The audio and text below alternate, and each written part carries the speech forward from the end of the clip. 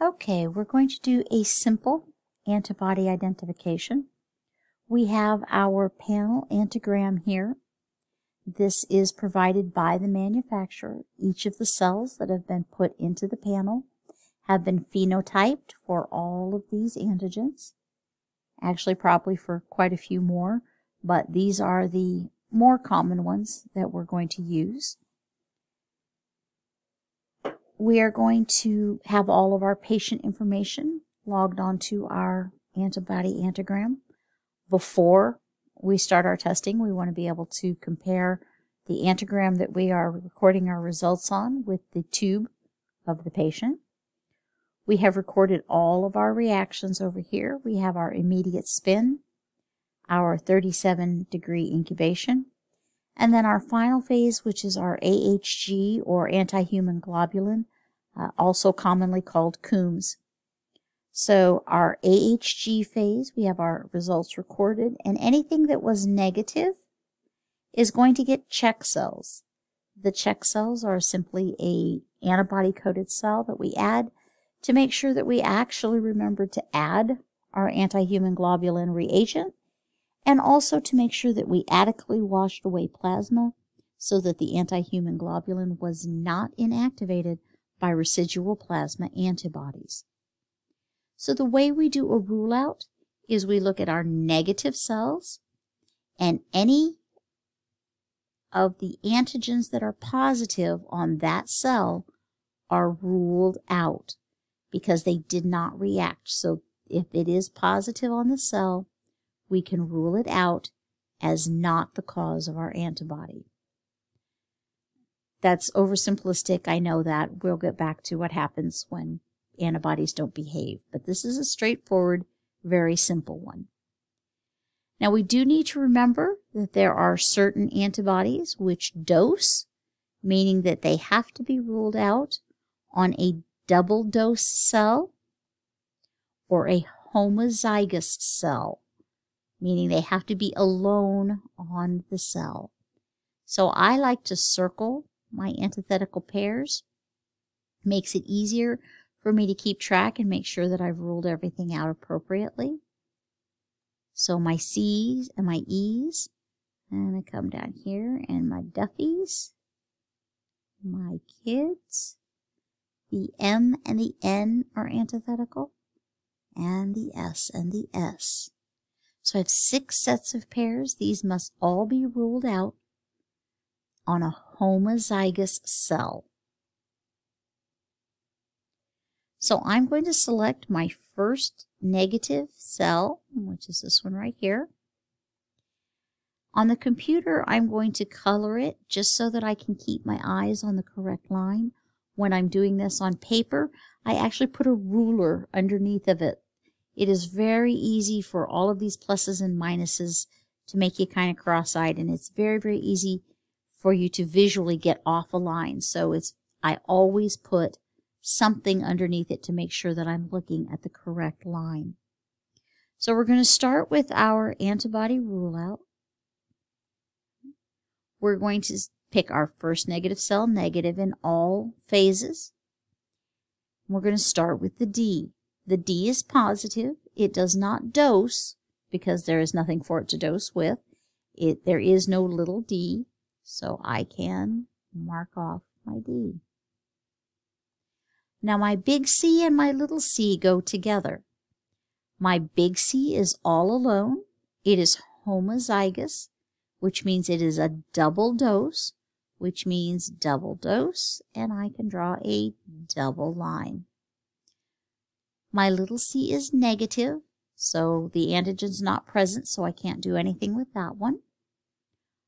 My E is another pair. My big E and my little e are both present, which means it is a heterozygous cell, which means it has a single dose of antigen, so it gets a single line. My VEL is negative, my CW is negative, my KEL is negative. Can't rule out unless the antigen's positive. So my Cellano is positive, or my little k. Little k. My KPA is negative. My KPB is positive. My JSA is negative, so I can't rule out. My JSB is positive. There it goes. My Duffy A and my Duffy B are another pair. Again, both are present. So it is a heterozygous cell.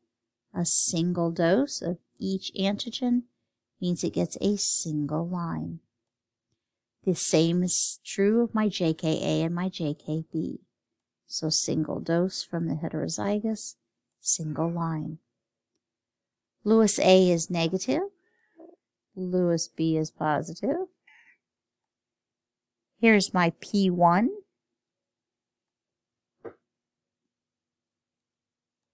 My M and my N pair up. Again, it is a heterozygous, so single line for a single dose. And the same on my S. Heterozygous, single dose, single line. My Lutheran A is negative, so I can't do anything with that. My Lutheran B is positive, so I can rule that one out. My XGA is positive, so I can rule that one out. And we are done with our first negative cell.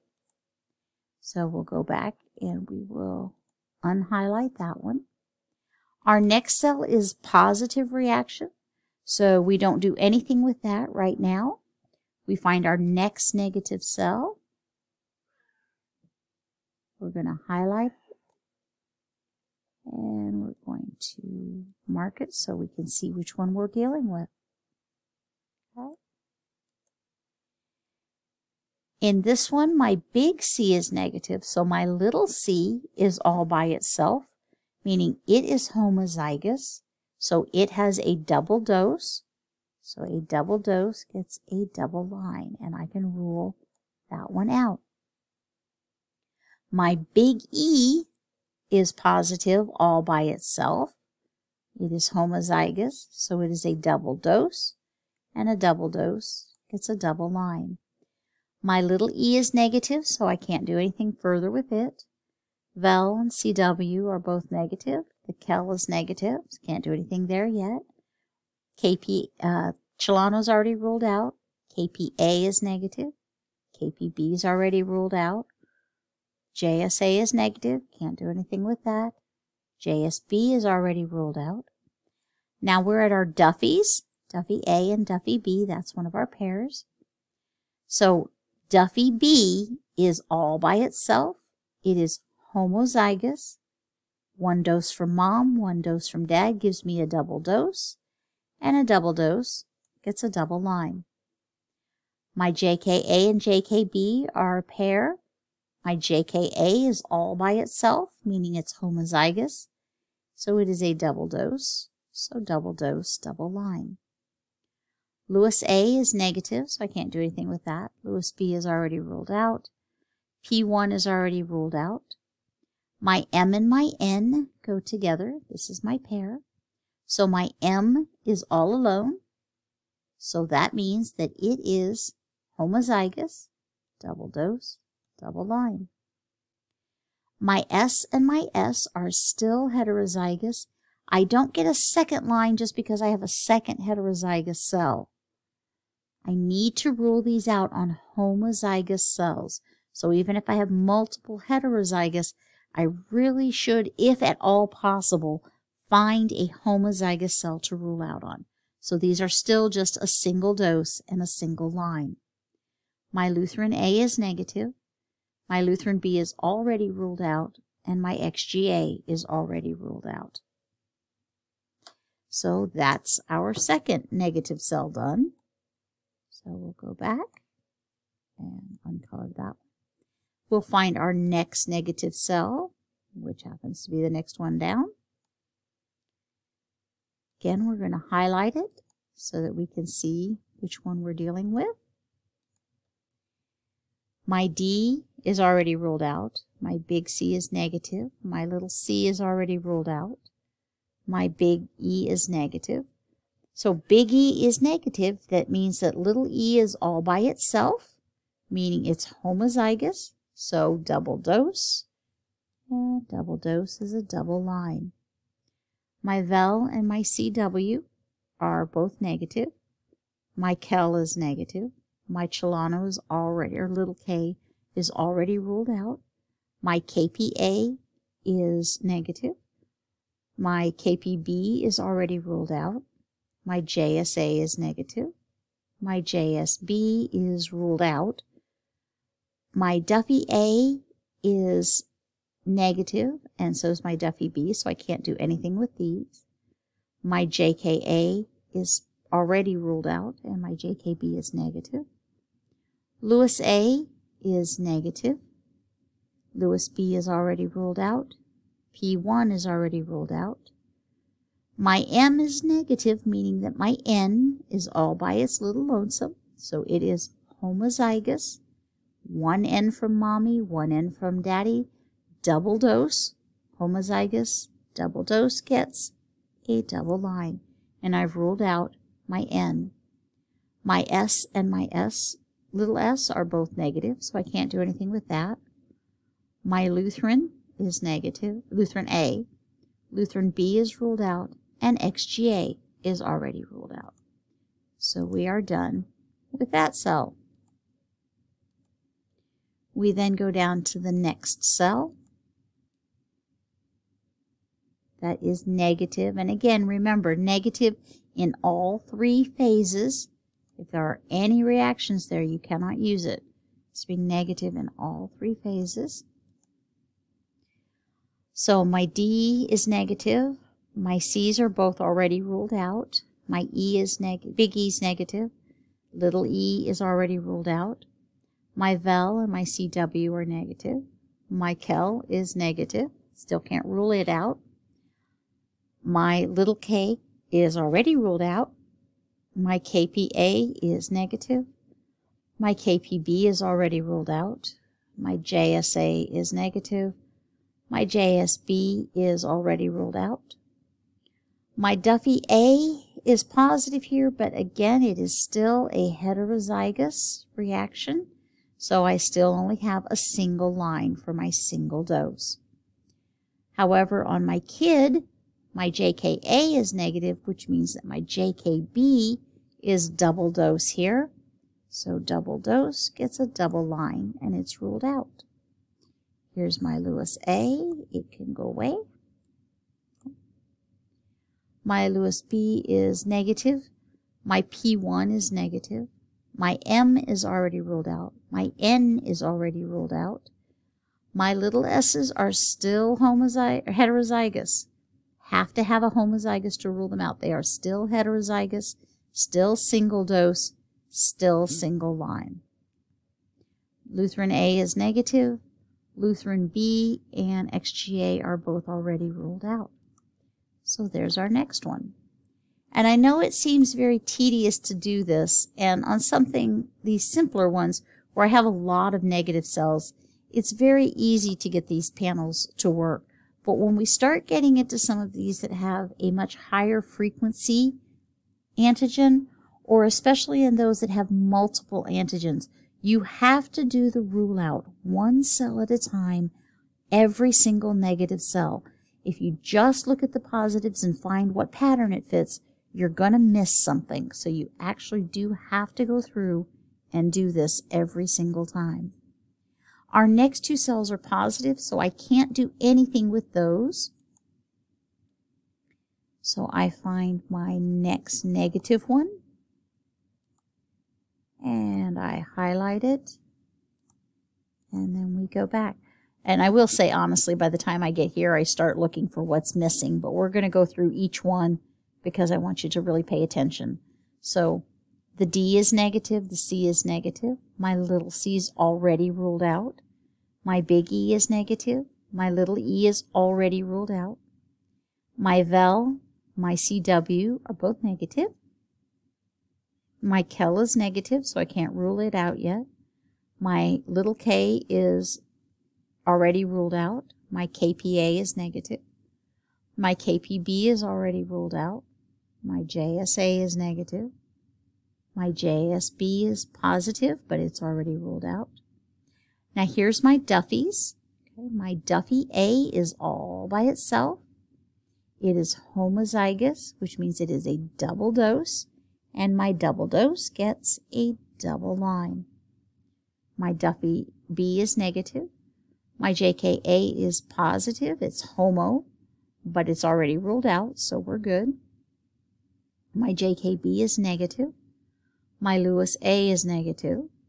My Lewis B is already ruled out. My P1 is already ruled out. My M is already ruled out, and my N is zero.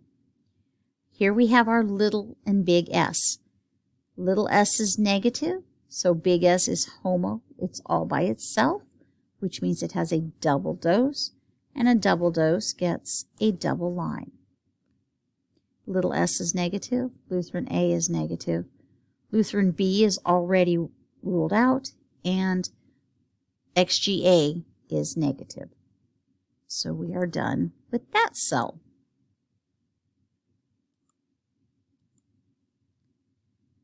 So here is this cell.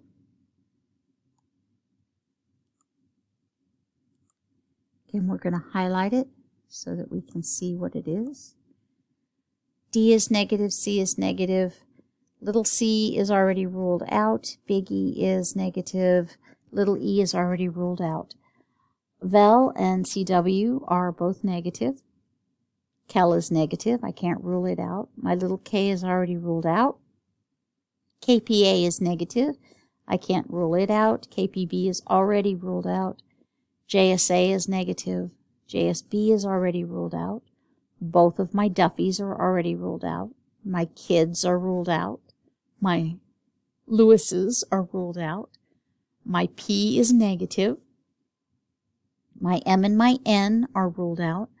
My big S is negative, so my little s is homozygous all by itself, meaning it has a double dose of little s.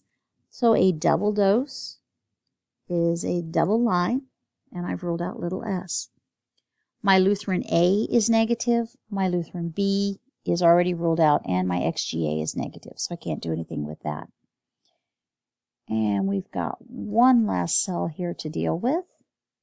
Won't take us but a second. Like I said, you do have to go through every one of these cells and you do have to make sure that you actually rule everything out and don't just rule in. You've got to do this rule out. Um, my RHs are all negative. My VEL is still negative. My CW is negative. I can't rule out Kell. My Cellano or my little k is negative. My KPA is negative. KPB is already ruled out. JSA is negative. JSB is already ruled out. Both of my Duffys are ruled out. My Kidds are ruled out. My Lewis was ruled out. My P. All of my MN and S are ruled out and ruled out homozygous. Lutheran is not there, so nothing I can do. And my Lutheran B and XGA are all ready ruled out. So next thing I'm going to do is I'm going to go back and I'm going to look at where my positives are. So this is a positive cell. These two actually here are positive cells. So we'll color them. Yeah, that's a little hard to read through. Let's Let's go blue. I can read that. Okay. Those are positive. And then here is my other positive. Okay. Now I'm going to go back and I'm going to look and see if my pattern fits anything. And it's very obvious that it fits the Kell. So to definitively call it Kell, I have to have three cells that are reacting that are positive for the antigen. And then I have to have three cells that are non-reactive that rule everything else out.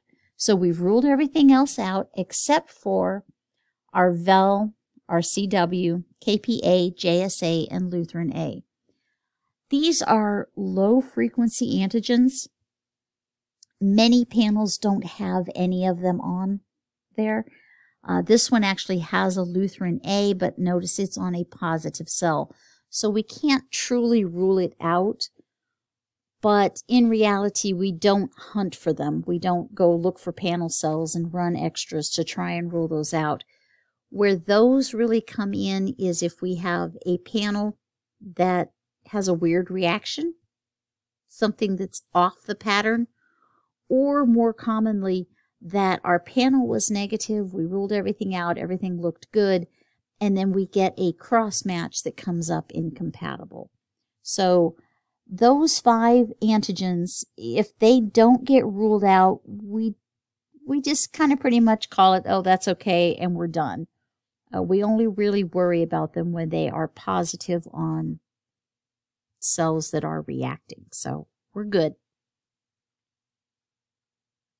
We have three positive KEL cells, so we have identified this as a KEL.